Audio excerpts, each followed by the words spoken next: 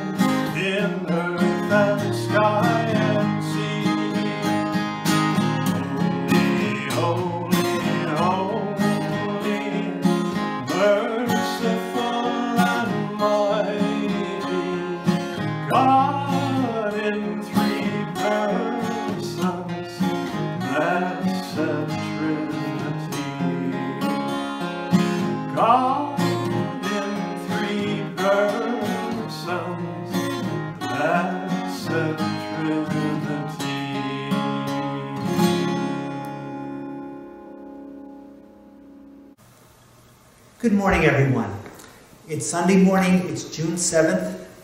This is the Sunday throughout most of the Christian church we celebrate the feast of the Holy Trinity, where we celebrate our understanding, our feeble attempt at understanding who God is. And in a world that so desperately needs to hear of God and of a God who is with us, this is more than just an academic exercise. So please join with me in prayer as we pray for our world, we pray for our nation, we pray for justice, we pray for the end of bigotry, we pray for ourselves, we pray for repentance and forgiveness, and we pray for healing.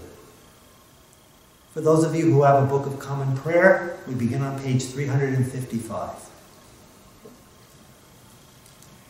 Blessed be God, Father, Son, and Holy Spirit, and blessed be his kingdom now and forever. Amen.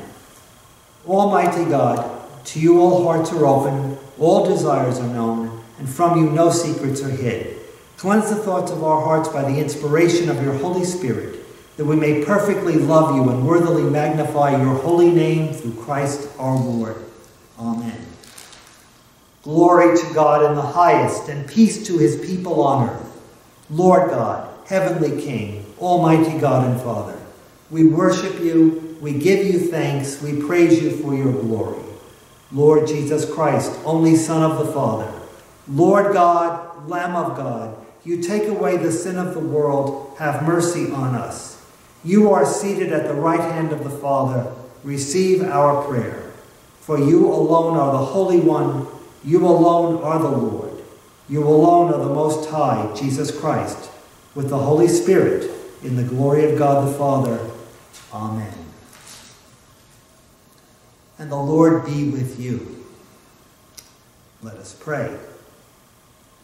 Almighty and everlasting God, you have given to us your servants grace by the confession of a true faith to acknowledge the glory of the eternal Trinity and in the power of your divine majesty to worship the unity. Keep us steadfast in this faith and worship and bring us at last to see you in your one and eternal glory, O Father, who with the Son and the Holy Spirit live and reign one God forever and ever. Amen. Let us proceed now to the liturgy of the Word.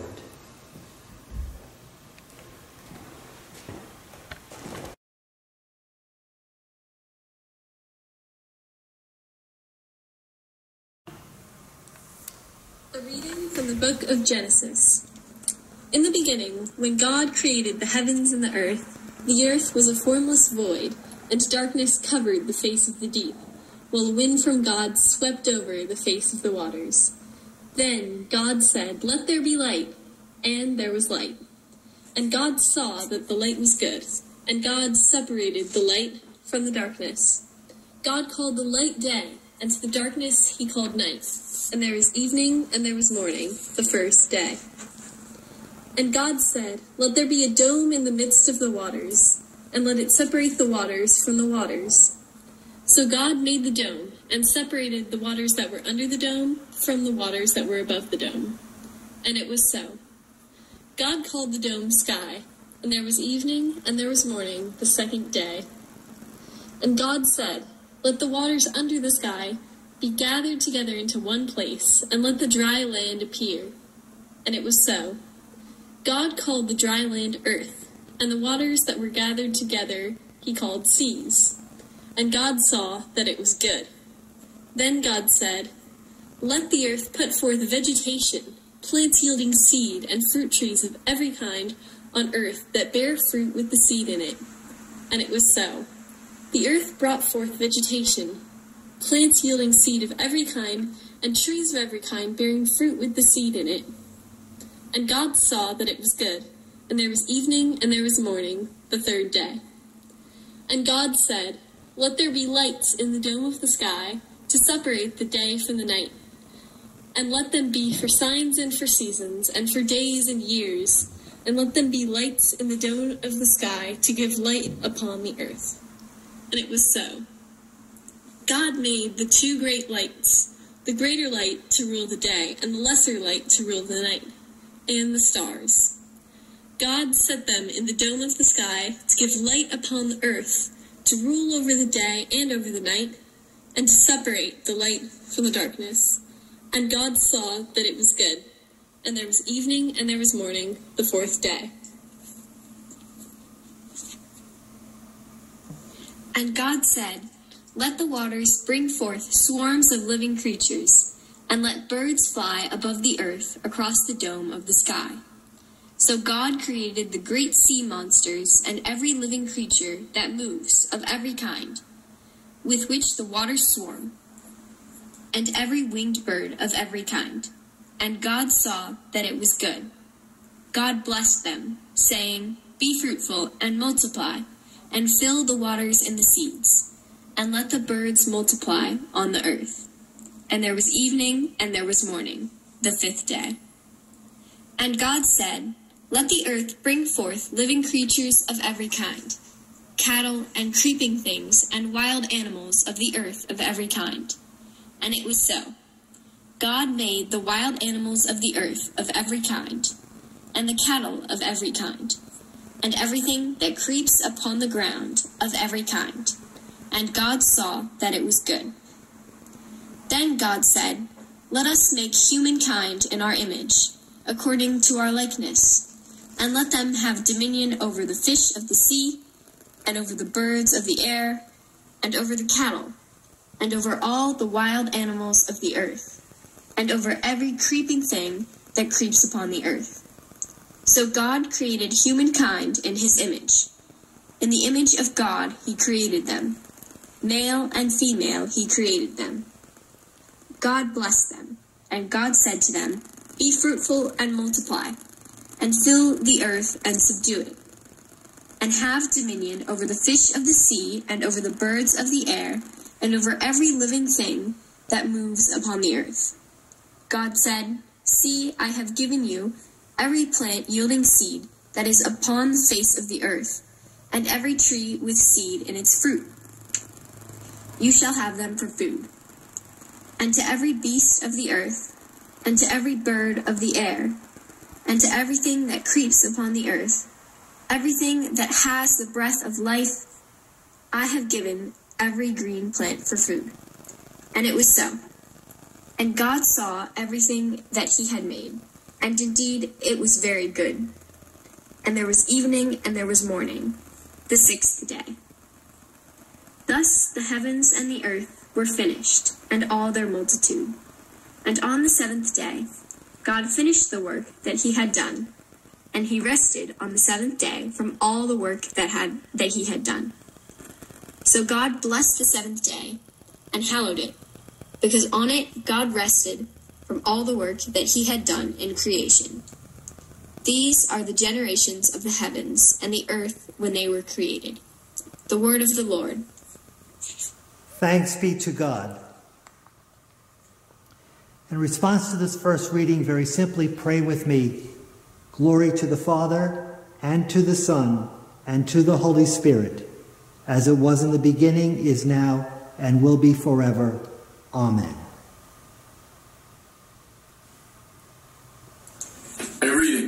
The second letter of Paul to the Corinthians.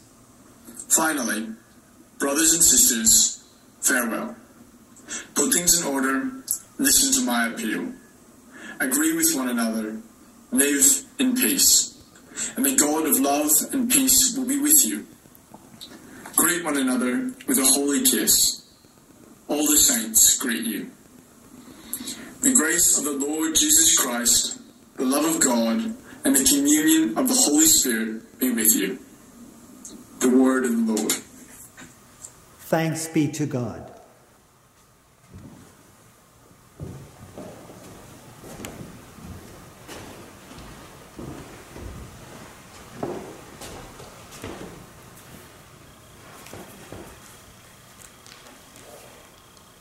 And the gospel this morning is taken from the Gospel of St. Matthew.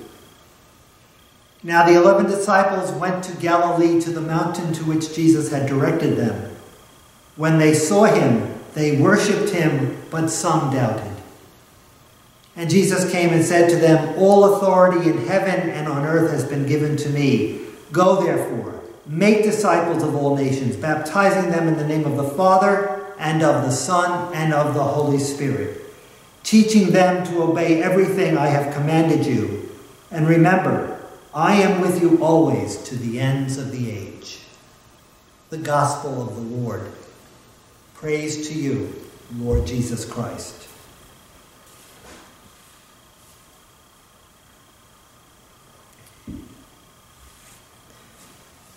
As you all know, this service is recorded earlier during the week. Right now, my heart is so heavy because normally on Trinity Sunday, I would be making some sort of allusion to a happier time. I'd be making reference to things that have happened in the past, things that have humbled me. Because, to be quite honest, anyone who dares to believe he's going to preach and explain the mystery of the Trinity, such arrogance, such hubris, I would hope you would flee out of the church if you think you're going to hear anyone anything that, that will explain the person of God to human satisfaction anyway. And of course, part of the problem is also that this feast has it has the sense of a theological lecture. Um, the doctrine of the Trinity has been tossed into the spiritual dustbins of history, something that's irrelevant. We're dealing with so many problems in life now to try to think that we have to stop and figure out how what it means that God is Father, God is Son, God is Holy Spirit. Wasn't it just a bunch of very smart bishops a long time ago, centuries ago, who tried to take the categories of philosophy and use them to explain something very, very simple and turn it into something unbearably complex? I remember my professor who taught the course on the Trinity. I come from an older generation that had to take a course that was titled in English, God who is one and who is three, De Deo Uno et Trino. And I remember pulling the oral exam and having to explain to him some theory that St. Augustine had written about explaining the mystery of God and comparing it to some theologian that I knew our professor did not like. So I kind of played on his bigotry about this particular professor, shame on me, um, and, and basically gave him what he wanted to hear, or at least I thought I was doing that. And I was very smug and arrogant, and I was explaining the mystery of God to everyone's satisfaction, especially my own. And I was walking out at the end of our 10 minute session where I knew I had passed the exam. He turned and he said to me, Oh, by the way, just for, for 30 seconds, could you take everything that you explained about God and pretend I'm a, a second grader? And would you please explain it to me as if I were an eight year old? And he just turned me into a puddle of mush because, of course, he knew exactly what I had been doing, and he knew what I knew, and he knew what I didn't know, and I knew what I knew and didn't know. And what I don't know is how to take our understanding of the mystery of God and make it applicable in a world that not only does not want to hear about God, but turns its back on God. It's closed its ears, it's closed its heart, it's closed its mind. And we see the result. We see the result in such hatred. Hatred that causes anger, and anger that causes hatred in an unending spiral that never ends. We proclaim as Christians the fullness of God, and we proclaim the fullness of God to the entire world. Jesus, at the end of his mission, sends his followers out. He says, You don't stay in an upper room, you don't stay locked in a church. You go out to people and bring them into a relationship with God, God who is Father, who is Son, and who is Spirit. You know, very often we think of our faith in terms of a vertical relationship. It's me and God. Or at best, maybe I come to church when I come to church and I'm with those other people that I sometimes agree with and sometimes don't. And I pray with them sometimes, or I tolerate them sometimes. And our faith is something that we as a parish share or don't. And at the very, very most, we think of our parish as part of something larger called a diocese or a, or whatever. Different church traditions have different names for the larger collection of smaller communities. And I think we forget the fact that Christianity is a worldwide movement. It is the Jesus movement, as our presiding bishop often reminds us. We're part of something so much bigger than ourselves. We're part of something which is called the church, which is one holy, Catholic, and apostolic. And we proclaim the fullness of God. Not just when we say the Our Father and mention the Father's name, or we mention the name of Jesus in our prayers, or teach our children how to pray, or even on Pentecost or when the bishop shows up for confirmation, think about the Holy Spirit. We proclaim the fullness of God to the entire world, which is a reminder that God, who is the creator of us, the Savior who redeemed us, and the Spirit who sanctifies and gives us holiness, sets us apart. That God has enlivened us so that we may bring the love that is God because God is a relationship of love, into the human community. Because God is community, we are united to that community who is God, and we are called to be united to each other. We are called to live lives as Christians in terms of a Trinitarian understanding of life. The grace of our Lord Jesus Christ, the love of God, and the fellowship of the Holy Spirit. Words of St. Paul, read so beautifully by Patrick, the complete focus on who God is. And you know what? All of the social theory and all of the revisions and all of the attempts to fix society all have to begin with living as community the grace of our Lord Jesus Christ, the love of God, and the fellowship of the Holy Spirit. We live that life, as simple as that sounds. We live in peace with each other. And none of the events, none of the causes, none of the bigotry that instigates, and all of the excuses that can be used for tearing us apart, none of that would exist if we lived the Trinitarian life knowing I am graced by the Father, loved by the Father, graced by the Son, and in union with the Spirit, and in union with each one of you. Our belief in God as Trinity is a reminder that God Himself lived among us and yet was different from us. That Jesus, who was truly human and truly was God. That Christ, who was united with and distinguished from the Father, united with and distinguished from the Spirit, united with and distinguished from us, who draws us into a communal love experience. And if we live that, and we treated each other with that kind of respect and love, this world would be so much different. Because we forget that being a Christian is being part of a mission, that we've been sent. Right now, in the cocoons of our homes, dealing with the virus and dealing with the fact that we're supposed to stay apart from each other, we especially forget the fact that that is only a temporary situation. Be united with each other in love in the homes where you are now. But God, please take that love into the community when you are able to do so, as rapidly as we are able to do so. Because the God who is Trinity, the God who is our Creator, as we heard read so beautifully, the God who is our Redeemer and the God who is our Sustainer, sends us out to transform the sin and the garbage that has become the human condition. Trinity Sunday is not a philosophical theory. A theologian once said, the difference between philosophy and theology is philosophy of religion, you can deal with theory.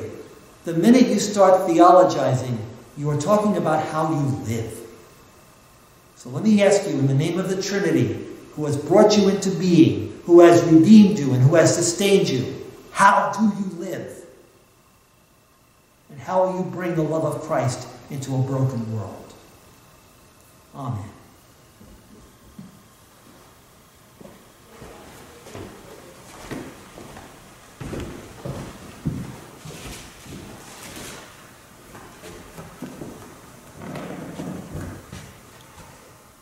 In the year 325, during the reign of the Emperor Constantine, because the church was fractured and fighting amongst itself and trying to come to grips with an understanding of God, many bishops of the church gathered together and they penned what we believe. We utter their prayer. We believe in one God, the Father, the Almighty, maker of heaven and earth and of all that is seen and unseen. We believe in one Lord Jesus Christ, the only Son of God, eternally begotten of the Father, God from God, light from light, true God from true God, begotten, not made, of one being with the Father. Through him all things were made.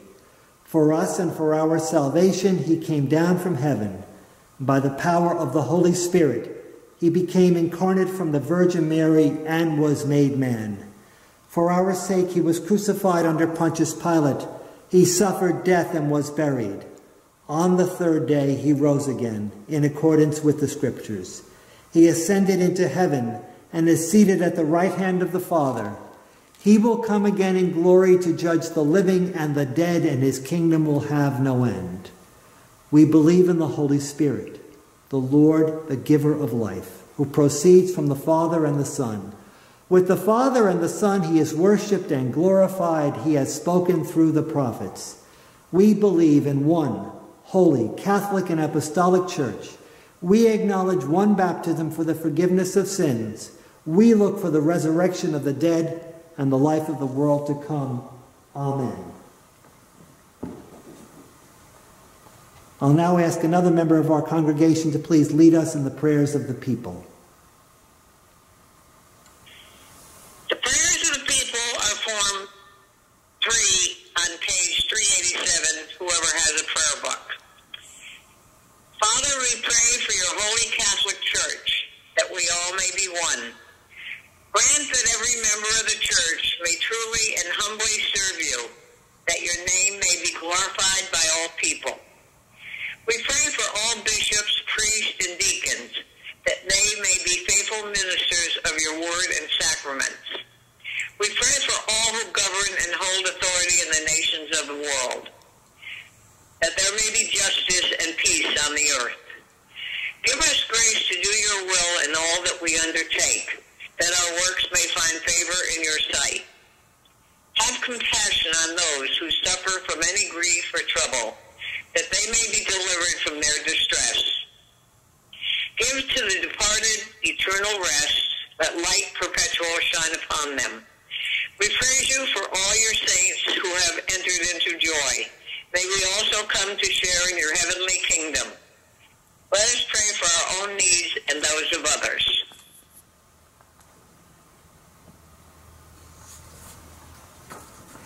As we have over these many weeks, we pray for those who are related to our parish, those who are working in the face of this virus.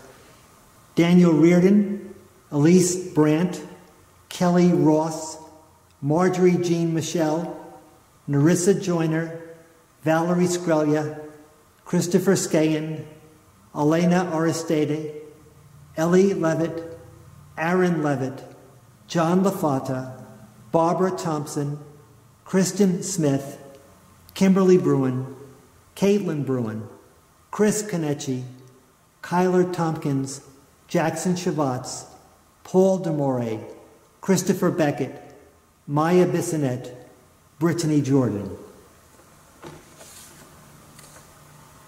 We pray not only for peace in our country, but for justice in this country, for everyone equal under the law, to know that lives do matter. Black lives matter. All our lives matter. We pray for peace in our world. We pray for an end to this pandemic. Let us pray. God of all power and love, we give thanks for your unfailing presence and the hope you provide us in times of uncertainty and loss. Send your Holy Spirit to enkindle in us your holy fire. Revive us to live as Christ's body in the world, a people who pray, worship, learn, break bread, share life, heal neighbors, bear good news, seek justice, rest and grow in the Spirit. Wherever and however we gather, unite us in common prayer, send us in common mission, that we and the whole creation may be restored and renewed through Jesus Christ our Lord. Amen. And may the peace of the Lord be with each of you.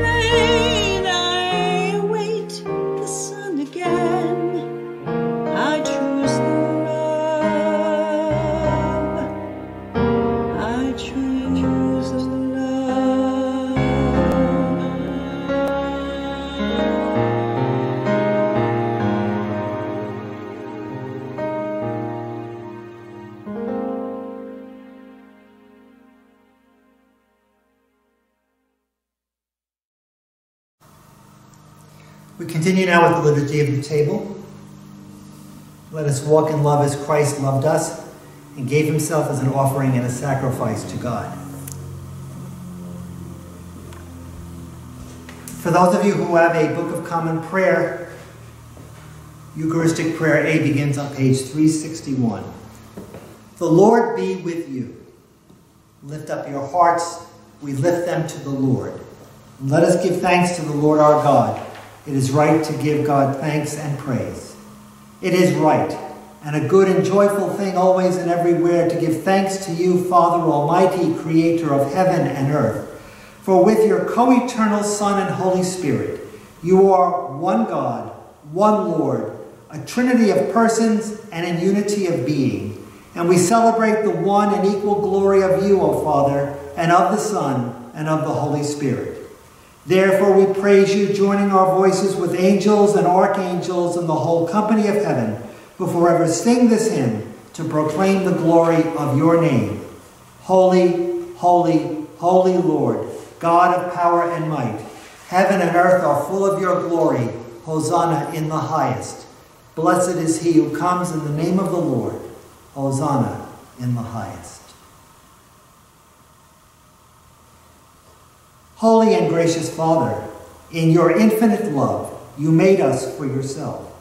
And when we had fallen into sin and become subject to evil and death, you in your mercy sent Jesus Christ, your only and eternal Son, to share our human nature, to live and die as one of us, to reconcile us to you, the God and Father of all. He stretched out his arms upon the cross. He offered himself in obedience to your will, a perfect sacrifice for the whole world. On the night he was handed over to suffering and death, our Lord Jesus Christ took bread. And when he had given thanks to you, he broke it, gave it to his disciples, and said, Take, eat. This is my body, which is given for you. Do this for the remembrance of me. After supper, Jesus took the cup of wine. And when he had given thanks, he gave it to them and said, Drink this, all of you. This is my blood of the new covenant, which is shed for you and for many for the forgiveness of sins. Whenever you drink it, do this for the remembrance of me. Therefore, we proclaim the mystery of faith. Christ has died. Christ is risen. Christ will come again. And we celebrate the memorial of our redemption, O Father, in the sacrifice of praise and thanksgiving. Recalling his death, resurrection, and ascension, we offer to you these gifts. Sanctify them by your Holy Spirit, to be for your people the body and blood of your Son, the holy food and drink of new and unending life in him. Sanctify us also that we may faithfully receive this holy sacrament and serve you in unity, constancy, and peace. And on the last day, bring us with all your saints into the joy of your eternal kingdom. All this we ask through your Son, Jesus Christ. By him, with him, and in him, in the unity of the Holy Spirit, all honor and glory is yours, Almighty Father, now and forever. Amen.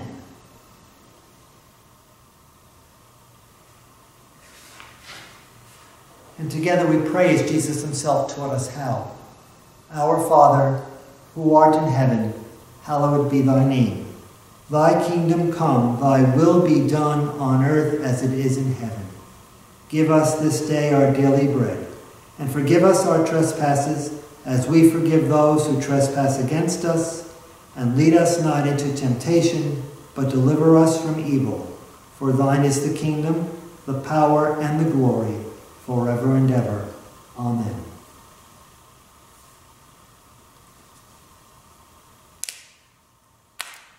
Alleluia. Christ our Passover is sacrificed for us. Therefore, let us keep the feast. Alleluia. Lamb of God, you take away the sins of the world, have mercy on us. Lamb of God, you take away the sins of the world, have mercy on us. Lamb of God, you take away the sins of the world, grant us peace. The gifts of God for the people of God. Take them in remembrance. Christ died for you and feed on him in your heart by faith with thanksgiving.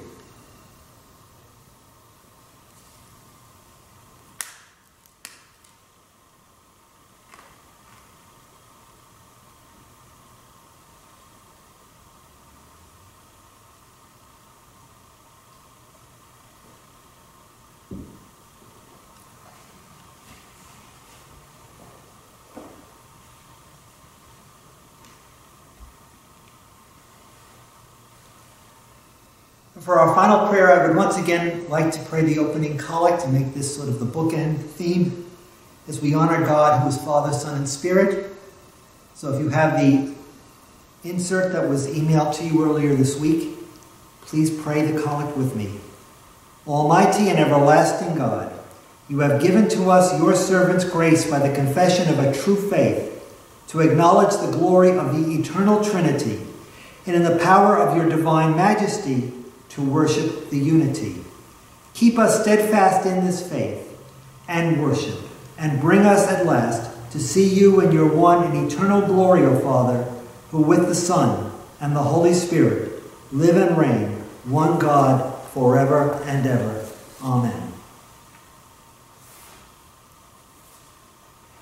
May the Lord bless and keep you. The Lord make his face to shine upon you and be gracious to you. May the Lord lift up his countenance upon you and give you peace. May the God, the Holy Trinity, make you strong in faith and love, defend you on every side, guide you in all truth and peace. And the blessing of God Almighty, Father, Son, and Holy Spirit, come down upon you and remain with you forever. Go in peace. Thanks be to God.